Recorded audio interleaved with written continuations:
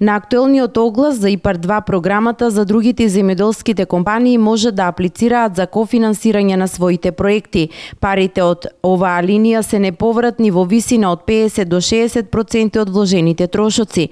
Најниската вредност на вкупните прифатливи трошоци е 10.000 евра, а максималната достигнува до 4,5 милиони евра. На располагање со овој повик се 27 милиони евра, сума за која од платежната агенција сметаат дека може да се случи да биде премала во однос на интересот во некои региони во државата.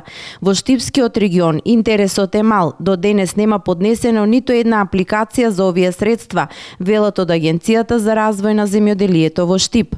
Праксата од изминатите години покажува дека земјоделците апликациите ги доставуваат пред завршување на огласот, вели Илчо Маролов од Агенцијата за развој на земјоделието во Штип.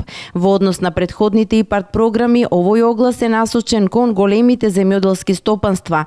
Малите, односно индивидуалните земјоделци во најголем дел не ги исполнуваат условите. Но она што е позитивно во однос на предходните огласи се средствата наменети за житни и индустријски култури, изјави за Канал Плюс агрономот Маролов.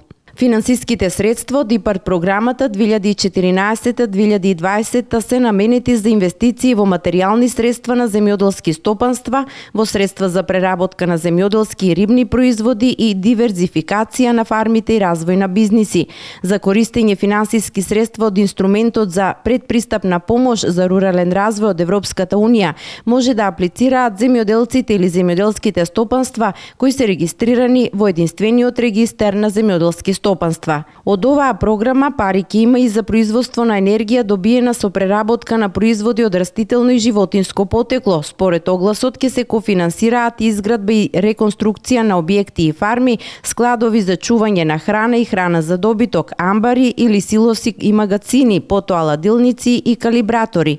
На земјоделците им стојат на располагање 27 бесплатни типски проекти за изградба на сточарски фарми, за подигнување на овошни лозови насади и за изградба на мандри и силоси. Дел од парите се наменети за изградба на инфраструктура на самиот имот на земјоделските компании, вклучувајќи изградба и реконструкција на патишта за внатрешно поврзување на објектите, електрични инсталации, водоводи, системи за отпадни води, пумпи и бунари.